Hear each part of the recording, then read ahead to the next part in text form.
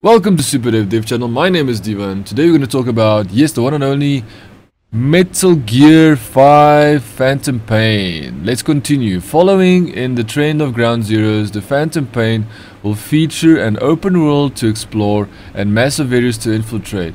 When you are on a mission set in Afghanistan, in a dry and mountainous area, diving into bushes and using the hills as cover will help you get your Get over your objective faster and without being detected. This game will feature a full day and night cycle in real time and starting a mission at night will have a devastating will have disadvantages and advantages. Example, at night it is harder for enemies to see you but you will encounter spotlight almost at every turn. So yeah, if you are interested and you would like to see the live stream on the day that this game is released do not forget to subscribe to this channel, like this channel because you are going to be prepared. You and me, we are going to play this game. I'm definitely going to play Ground Zeroes, you know, Metal Gear Solid 5 Ground Zeroes before the game launches just to get me prepared for the game.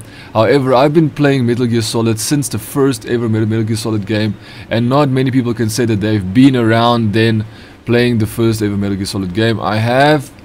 I've been there. I believe you know, I'll give this game a playthrough it deserves. We will see once and for all if the final Metal Gear Solid game that Kojima will, you know, produce with Konami would live up to the hype. It's real pity to know what's been happening between the two companies. However, this is not our problem. We are gamers. We are not worried about business situations, business drama, and business bullcrap. So, all I want to say is if you're interested to see me live stream this game on the 1st of September, remember to join me. Yes, on the 1st of September. And of course, if you like what you see and you're pumped as I am, leave a like, leave a subscribe. And I'll see you on the 1st of September for the live stream of the game. See you then. Ciao for now.